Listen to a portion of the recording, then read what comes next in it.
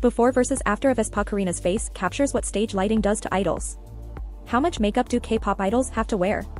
aespa Karina's recent Instagram update, compared to the photos and videos of her taken on stage, captured the dramatic change that happens to an idol's face on and off the camera. While gorgeous nonetheless, Karina did seem to be wearing a lot of makeup. From the heavy blush work to the very obvious aegyo-sal, or under eye, drawn on, and even the lip color smudging over her actual lips, the whole look seemed to be applied on extra thick, dark, and exaggerated.